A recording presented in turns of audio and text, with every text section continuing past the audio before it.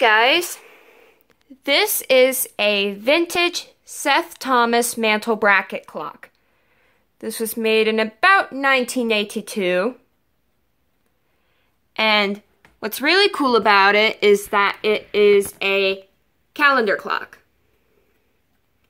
So it is Friday, September 18th. Another cool feature about it is that it has a moon phase up at the top. So let me open this up. And I'm just going to set this off for you so you can hear it.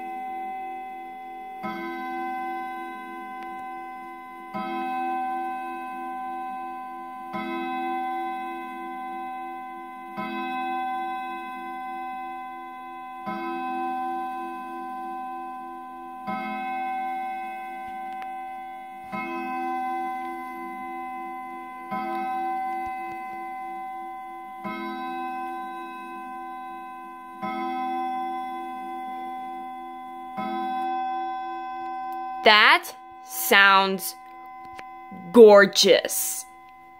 So, that's it. So, leave a comment down below and let me know what you think. And as always, be sure to thumbs up and subscribe. Thanks for watching.